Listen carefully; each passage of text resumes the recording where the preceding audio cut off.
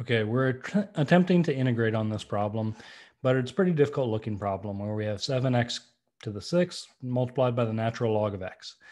So to get going on this, we're actually going to have to use the technique of integration by parts.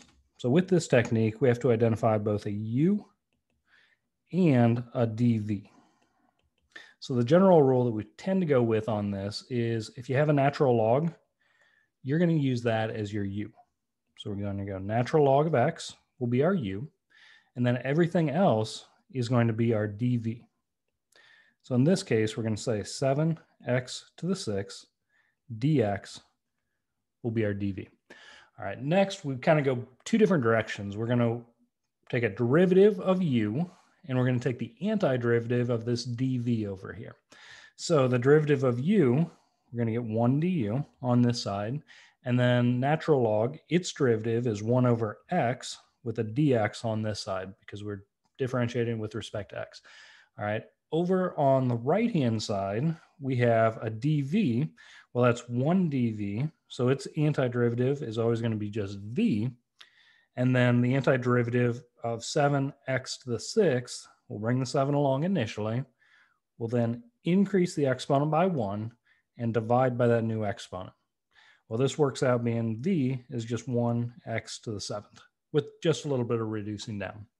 All right, now over to our integration by parts formula.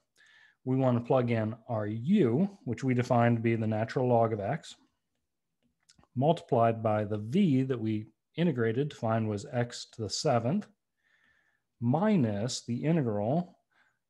Uh, we're going to plug in v, which was x to the 7th, and then du, which was 1 over x dx from our formula over on the left-hand side. All right, from here, we tend to write the x to the seventh out in front, but it doesn't really need to go out that direction. So I'm just copying down that first part.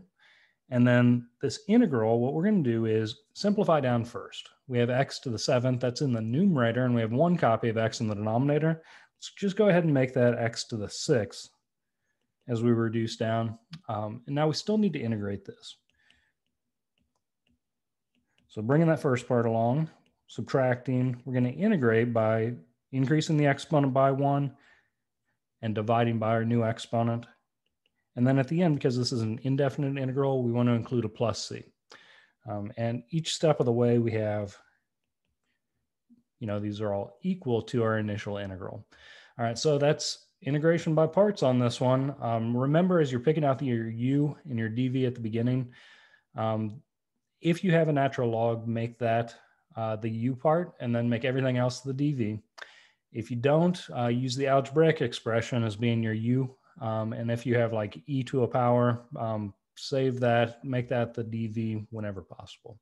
All right, hope this helps out. Good luck. Integration by parts isn't horrible, but it takes a whole lot of practice to get really comfortable with it. All right, good luck.